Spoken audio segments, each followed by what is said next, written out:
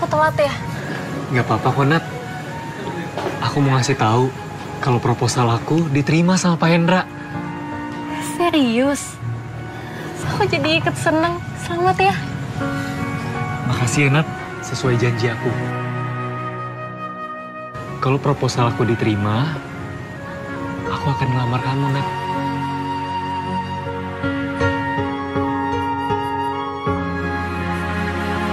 Kamu mau kan? Terima aku jadi suami kamu?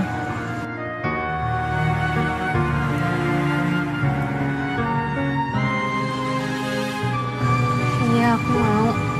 Semoga aja kamu adalah jodoh terakhir aku.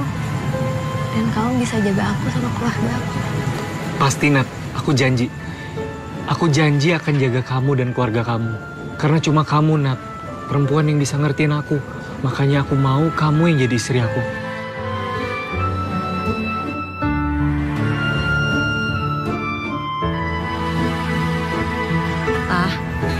Aku mau ngomong sesuatu sama papa.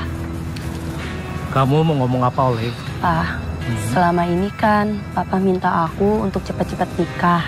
Nah, sekarang aku udah nemuin pak orangnya. Oh iya? Eh, namanya Johan. Papa setuju kan? Dia kan orangnya baik, terus pintar lagi. Papa setuju. Johan itu orangnya baik dan sudah dibuktikan. Johan itu pintar menggait klien ke perusahaan Papa. Kinerjanya juga bagus. Makasih ya, Pak.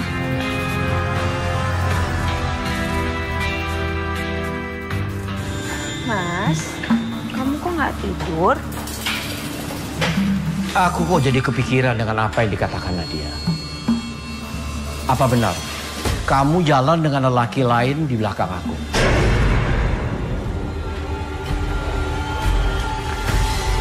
Jadi, Mas nuduh aku selingkuh. Kok bisa-bisanya sih Mas percaya sama omongan Nadia?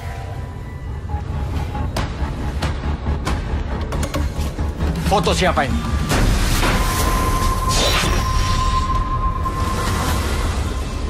Ya ampun, Mas.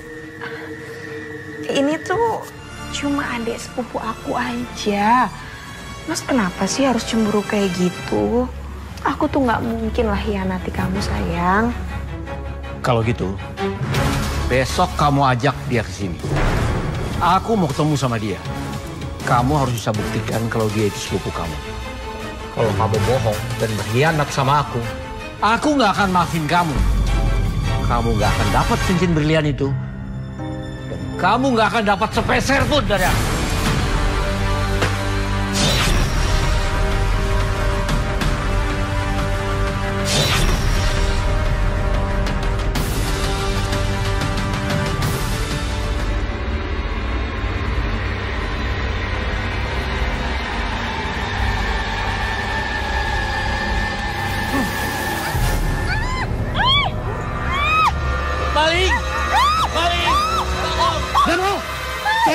Kamu ya. Tolong, Mas. Serahkan uang dan perhiasan. Cepat, anda berangkat, cepat. Iya, iya. Nanti semua saya kasih. Tolong istri saya jangan diapa-apain. Cepat serahkan perhiasan. Mau berlian. Cepat, Tuh, semua saya kasih. cepat. Iya, iya.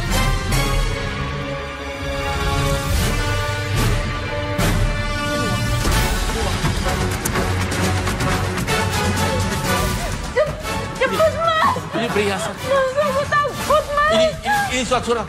Itu. Masukin.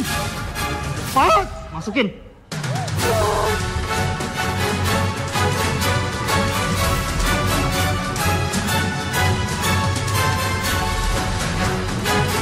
Cepat. Jam kamu.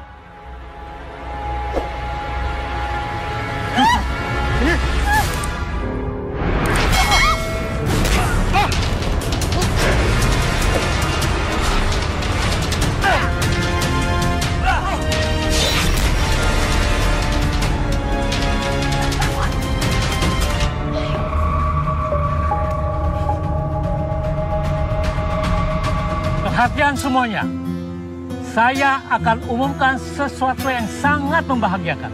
Putri saya, Olive, akan menikah dengan Johan.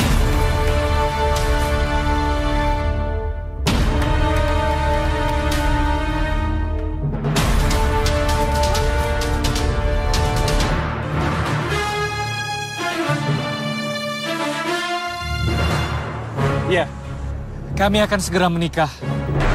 Dan kami saling mencintai. Mas, ini semua kejutan buat kamu. Karena kamu udah menang proyek yang papa minta.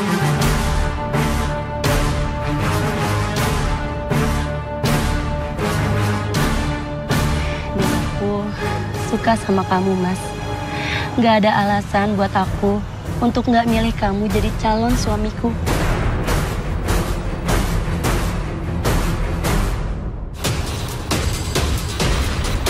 Sebentar ya. Sebentar ya, Pak. Nadia memang sangat mencintai laki-laki itu.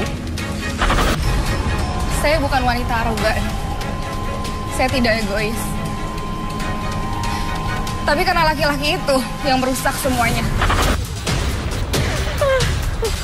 Nat! Nadia! Nat! Tunggu dulu, kamu bisa bohongin aku, Nyok? Apa maksud kamu? Semua omongan kamu tuh palsu. Nat, dengerin aku dulu, Nat. Aku nggak mungkin nolak permintaan bos. Jabatan aku taruhannya, Nat. Kamu tenang aja. Aku nikahin Olive itu cuman supaya dapat hartanya, Nat. Kamu akan tetap jadi nomor satu. Olive itu cuma nomor dua. Wanita mana yang mau diduain? Aku tuh udah percaya sepenuhnya sama kamu, tapi kamu patahin gitu aja. Nat, Nat, Nat, denger dulu. Nadia, Nat. Denger dulu, Nat. Tenang dulu.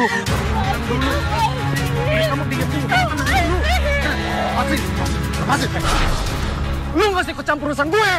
Oke, saya nggak akan tinggal diam kalau itu udah berurusan dengan yang namanya menyakiti wanita. Apalagi itu Nadia. Ayo Nadia pulang. Sini. Udah,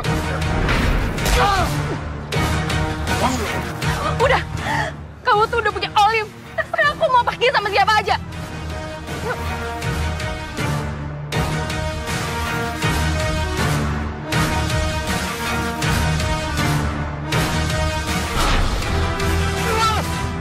Saya sebenarnya tidak cinta sama istri saya, Mas.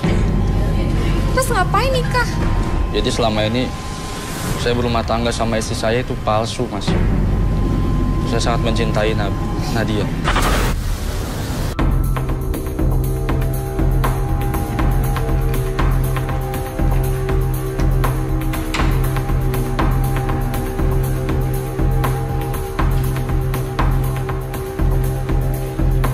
Mumpung Pak Bos nggak ada.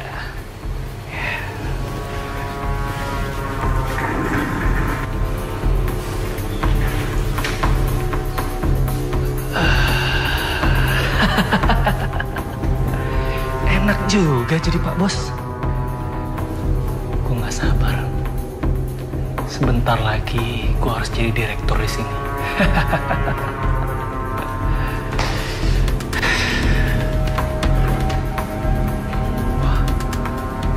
Ada rezeki nomplok nih.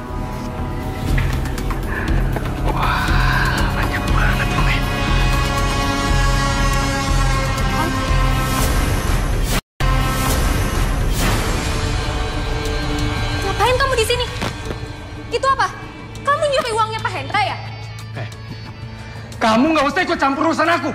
Kan kamu sendiri yang bilang kalau urusan kita udah selesai. Bakal akan bohongin kamu. Eh, eh,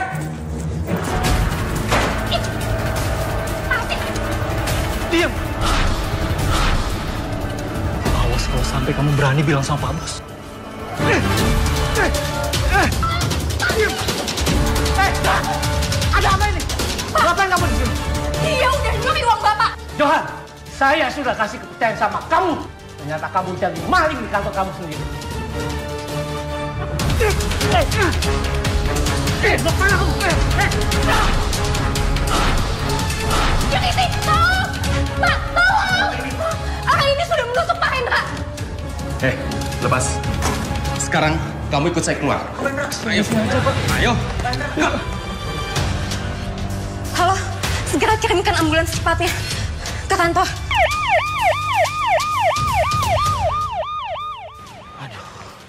Kau harus ke mana ya? Masa balik ke tempat Lastri? Bisa malu aku. Ya ampun, kasihan banget sih yang udah jatuh miskin. Ya sayang. Ini mobilku, ayo kembalikan. Kamu udah nipu aku ya. Kamu udah hancur hidup aku. Udah tabrak aja sayang, tabrak. Aku nyesel percaya sama kamu. Jangan, jangan sayang, jangan tabrak aja tabrak. Tabrak.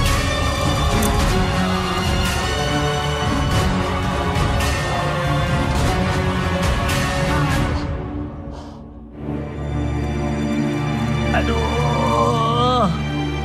Ah, tolong.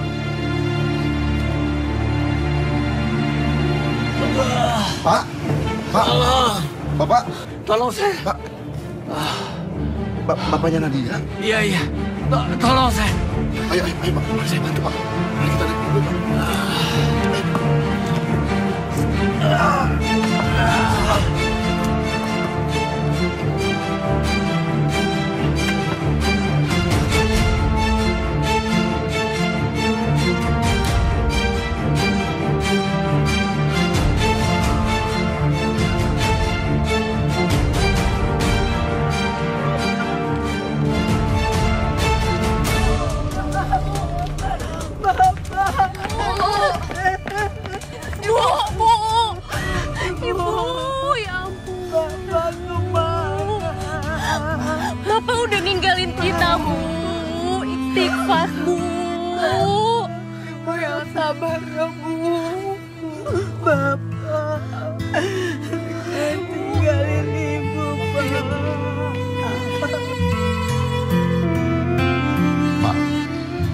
Kalau melihat dari kondisi Bapak, Bapak itu harus segera dibawa ke rumah sakit yang jauh lebih besar, Pak.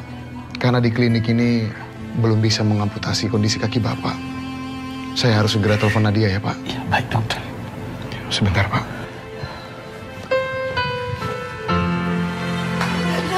Tolongin ibu dong. I- i- Ibu, ibu kenapa? Ibu kurang sehat.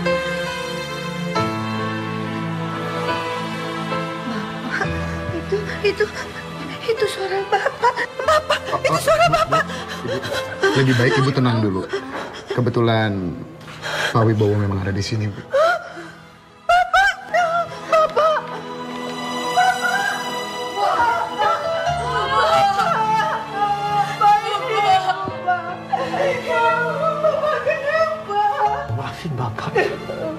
Bapak udah bersalah sama kalian semua. Bapak udah ninggalin kalian demi perempuan itu.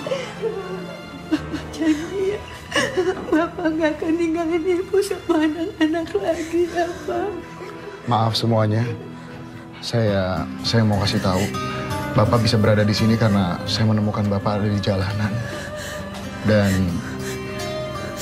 kaki Bapak harus segera diamputasi.